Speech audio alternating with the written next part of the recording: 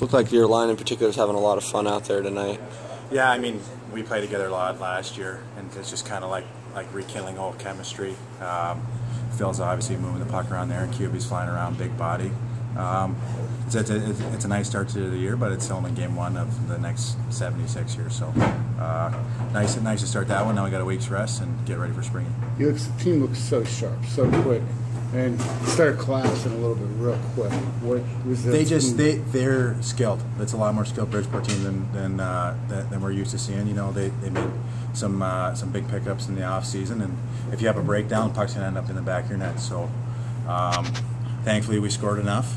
Uh, uh, it started sliding there, and we kind of tightened it back up again.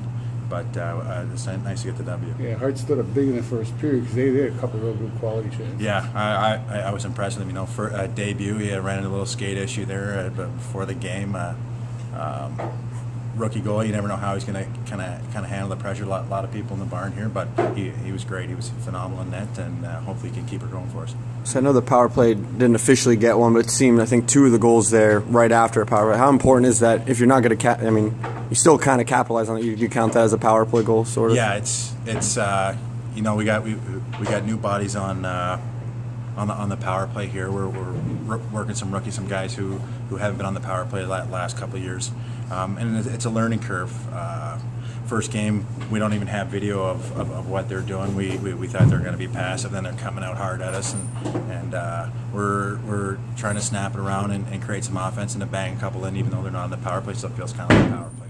Nice to see Ruby get one.